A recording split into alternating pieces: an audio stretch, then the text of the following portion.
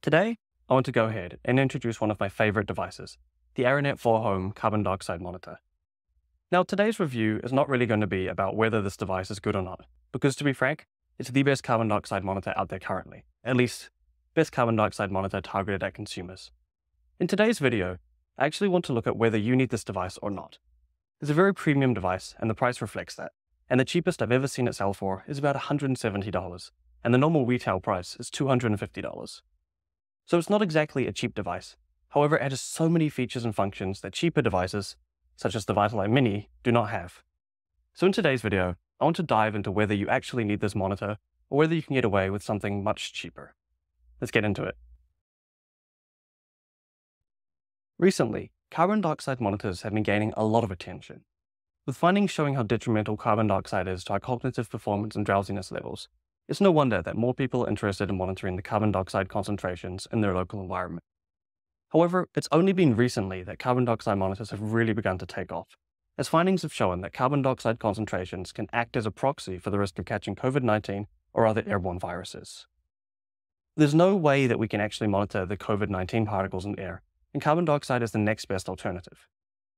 Due to these findings, carbon dioxide monitors have gained a lot of popularity over the past couple of years. While schools and offices have been turning to wall mounted and desk based solutions, consumers have turned to portable carbon dioxide monitors. The most popular of these is the Aranet 4 Home, So let's begin where all good reviews start, with the unboxing experience. Unboxing the Aranet 4 is very straightforward, and the box is very simple with minimal information on it. When you open the box, you'll quickly find the Quick Start Guide. In this guide, you can find basic information about the device, as well as a SIM card ejection tool. This tool will be used soon to adjust the settings on the back of the device. Putting the guide aside, we find the device itself. Now, I have turned on this device before, and if you have a new device, it will have a splash screen, rather than a carbon dioxide value. Also in the box, you'll find two AA batteries, which is a nice inclusion to see. In other words, everything you need to get started is already included in the box. Before putting batteries in your device for the first time, you'll want to turn it around and potentially adjust some of the settings. This is where you'll need your SIM card ejection tool. On this little control panel, you can change between calibration modes, temperature units, and enable or disable Bluetooth.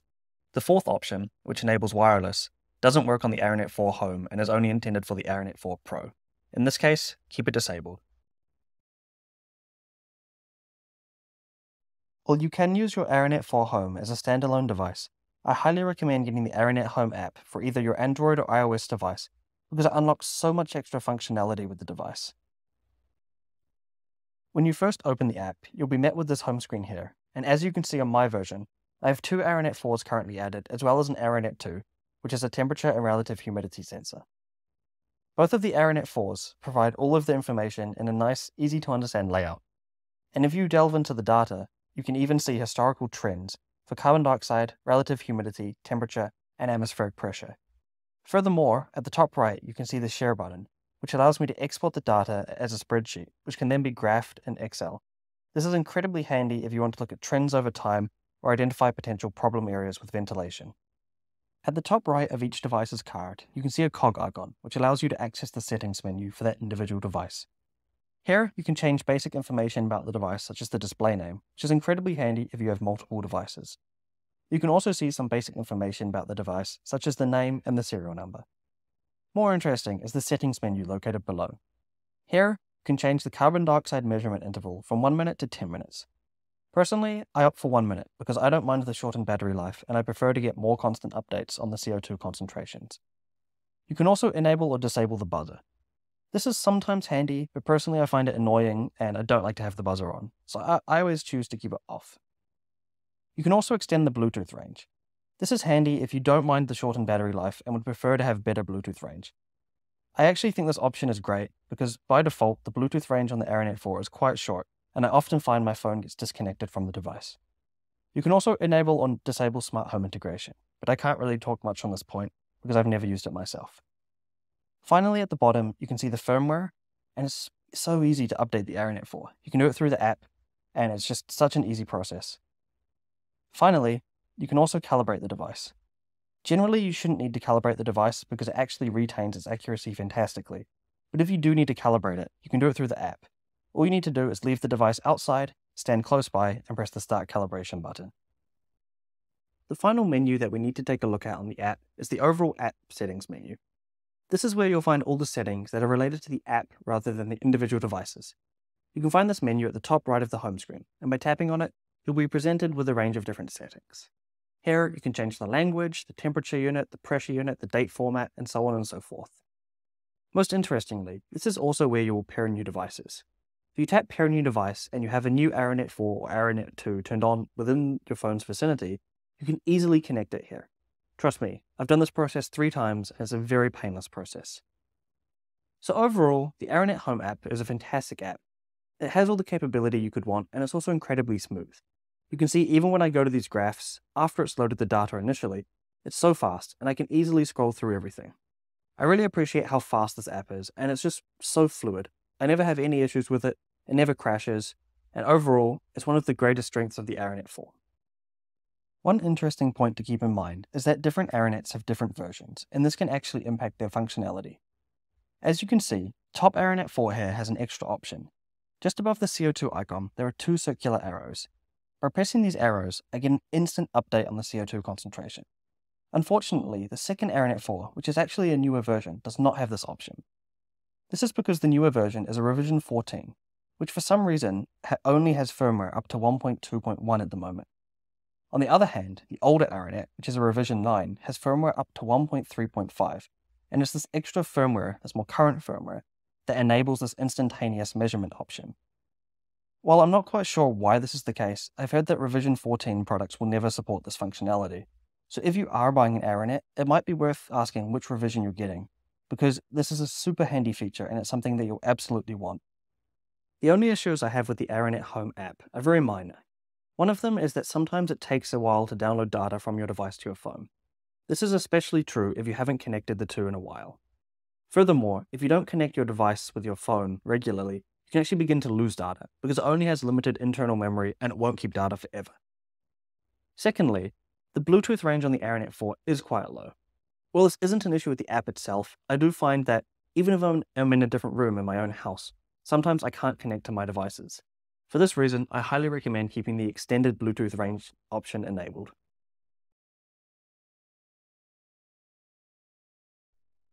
Now that we've had a look at the app, let's discuss calibrating your ARANET 4 home. I recommend leaving the pin on the back of the device up in manual calibration only, because automatic calibration can lead to a lot of issues and an incorrect zero value. To calibrate your device, simply take it outside and place it somewhere with as near ambient air as possible. Now, begin the calibration process on your phone. You'll need to wait between 5 and 10 minutes for the device to calibrate. Once this process has completed, you'll have a new baseline value, which is set as 420 ppm. You should recalibrate your device whenever you think it's inaccurate, or otherwise every few months. Personally, I recalibrate it every 3 months. Now the ARANET 4 is a simple device, but there is some customization available in the form of stickers from the official ARANET store. These stickers can be anything from simple colours to designs, and there's even some fun playful designs, for example, if you plan to give your ARANET to your child to take to school. Applying these stickers is very easy, and with each pack you purchase, you'll get multiple copies of each sticker, meaning that even if you do screw up the installation process a few times, you'll still get there in the end. Trust me, I've been there before. The ARANET 4 is a small device, and you can easily place it in your pocket or backpack alongside your wallet and keys. However, something to note is that it is somewhat fragile. If you drop the device, it will break, and I've had this happen before. On top of this, the device is not waterproof because there have to be vents to allow the carbon dioxide to enter the device. If you are worried about the fragility of the device, it might be worth picking up a carrying couch, such as this one. I bought this from Miniso, but they're also available on Amazon, and I'll have a link in the description. They're great for if you want to travel and place your ARANET 4 and carry on, or anything like that. And that about concludes my review of the ARANET 4 Home. This is undoubtedly the best consumer grade carbon dioxide monitor, and has everything you could want, from incredible battery life of up to 4 years, to fantastic connectivity and the ability to graph historical trends on Excel via exporting data. However, the question you really have to ask yourself is am I willing to pay the full price of the ARANET 4? It's expensive, and not everybody will need these features. There are so many good, cheaper alternatives, and if any of these features seem unessential to you, then it's worth investigating those instead. However, if you want the best of everything, then the ARANET 4 Home is is a great device and well worth checking out.